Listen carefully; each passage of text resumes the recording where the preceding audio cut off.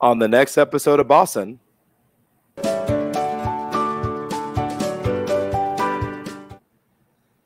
So, do I even want to ask as far as what's the next question? Because it's a doozy.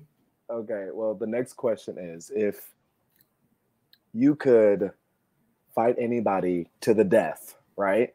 And take over their life, who would that person be? Take over. Okay, so fight to the take. Okay. Anybody Okay. in history, doesn't matter. Okay, I'm gonna go out on a limb and say Oprah or Ah. Michelle Obama. Oh. Like one of them. I'm gonna I'm gonna I'm gonna have to come in and just you know mess up Oprah's do and just. Put those hands on her. bob and weave, float like a butterfly, sting like a bee. I'm taking your life, Oprah. You're taking that. So No regrets. No oh, I'm gonna, regrets. have, I'm gonna have to end her, unfortunately. Unfortunately. Unfortunately. I mean, this is a fight to the death to take over the life. I mean, you know, hey. I love it.